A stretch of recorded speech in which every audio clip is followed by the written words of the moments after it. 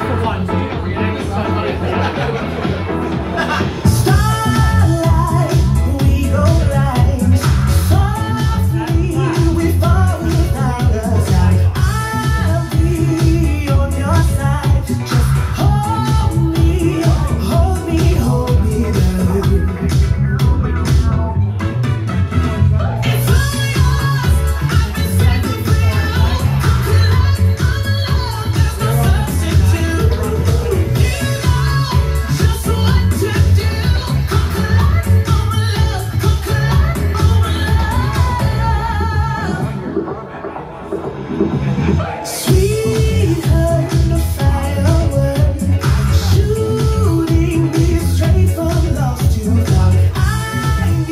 to be a social